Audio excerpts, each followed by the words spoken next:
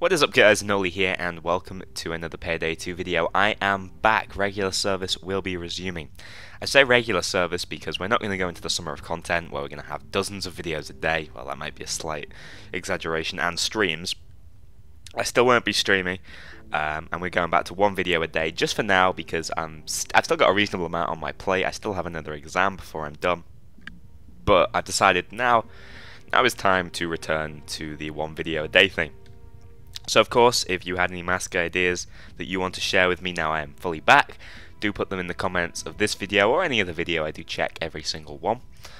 Um, and that is about it. Uh, as far as the exams are concerned, for those of you wondering, they were A-levels and they did go quite well, and I am British, so uh, in that order. And finally, I sensed an update coming. Uh, a couple of things going on with Payday while I was away. For example, they are introducing a beta server to try and reduce the file size of Payday 2. It's a really big game, bigger than I ever realized, um, file size wise. So they're, they're trying to reduce that, make it more playable, runnable on people's computers.